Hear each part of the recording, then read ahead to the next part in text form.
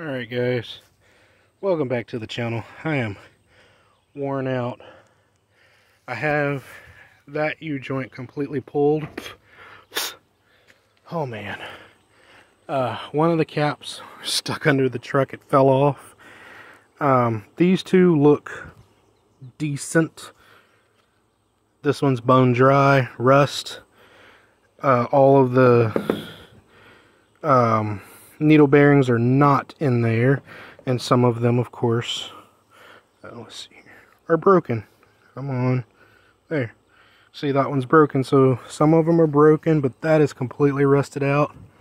Um, I've already compared. Sorry, I am pouring buckets of sweat and I've got heart palpitations going on. I've had multiple heat strokes in my life, so I can't really handle the heat like I used to when I was younger. But anyway, um, this is the replacement. Of course, it's greasable, just like these were. So, you know, if you see these do match up, they're the same. And then if you take one of these caps here, and let me get this out of the way and show you guys that the diameter is the same. So it's a perfect match. So right now I'm working on taking all of these.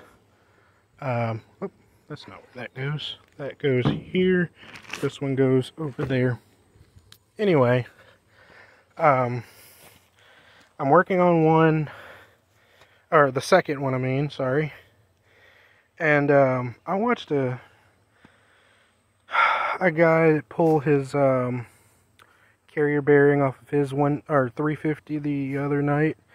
And I noticed in the comments someone said you didn't show the uh, 33 millimeter nut. Apparently, with the four wheel drives, this in here has a nut that keeps this from sliding off. So you have to completely disassemble this, which is what I was working on. That's why that snap ring is out and that snap ring is out, and then there's one here. Oh, that's the last one I have to pull out. So I pulled three off of this one, and then of course there's this one. But um, with the two-wheel drives, I guess there isn't uh, a nut, because this just slipped right out. Uh, so there was one person, like I said, that person commented and said, how come you didn't show the nut? I guess all of them don't have that, because I thought I was going to have to... Um, go and buy a new socket because I don't have a 33. I have a size 32 millimeter and I have a 37 mil. Yeah, I have a 32 millimeter and a 34 and a 37 millimeter, but I do not have a 33.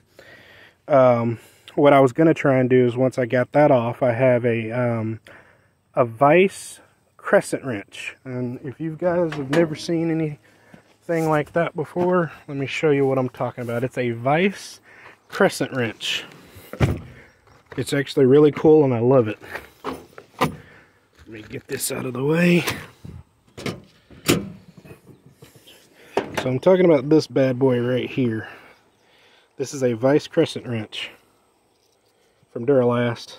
I got it also from AutoZone. But it also has a measure, you can measure the width of this thing on both sides of course um, yeah, it has a lifetime warranty on it. So even though I busted this end off and I could replace it, it still functions. So there's no need for me to replace it. But yeah, what you do is you adjust it to where you need it. If it'll let me. There we go. Okay, so let's say that's where your nut is. So I could go straight in on it like that, lock it in place, and then I could actually take, let me close this back. So say I had that locked in place on that 33 millimeter that I was working with. I could lock that in place, put that in straight on, and then take that big boy right there, those big channel locks, and I could uh, grip onto the uh, vice crescent wrench and turn it and I would have been able to get that loose if that were the case. But uh, let me pause the video and go get the um, my uh, carrier bearing puller. I want to show you guys how that works. And I'll be right back. Alright guys, I'm back. So here's my carrier puller. I'm probably to have to take me a breather. But yeah, the way it works is... So you've got this hook that comes up and this hook that goes down on the arm. And let me set this up and then I'll show you guys um, how it is you do it. Oh,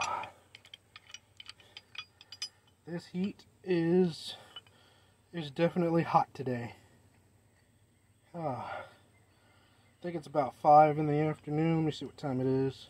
Yeah, it's 5.43 and the real feel is still over 100 degrees.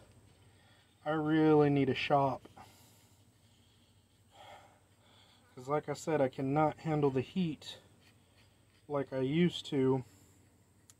Before I ran around and played in this and now it feels like this is going to be my undoing. But yeah, uh, geez, maybe I should have had this adjusted before making you guys have to sit here and stare at my my tailgate. I'm almost there. There we go. Let it spin freely. Looks like a circus act. Come on. I hope this works. I'm not sure if it will. But if not, if this doesn't work, there is another uh, option that I have. Let's see here. Jeez. Don't tell me this isn't long enough. Uh, I'm actually going to end up trimming this video because I'm not going to have you guys sitting here waiting on me to try and figure out how this works. I should have had this set up prior to filming. And for that, I apologize. Whew.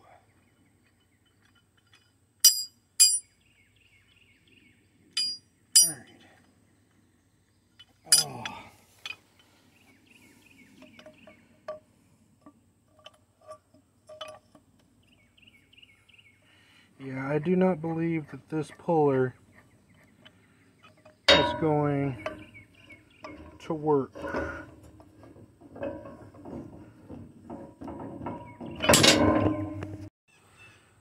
Alright guys, so I'm having to stop. I uh, almost ended up passing out a couple times. Um, it felt like heat stroke setting in. I've had, like I said, I've had heat stroke three times in my life, so I think I would know better than anyone what it feels like when you're about to have a heat stroke. But um, I'll probably pick this up tomorrow. It's just it's just too sweltering hot.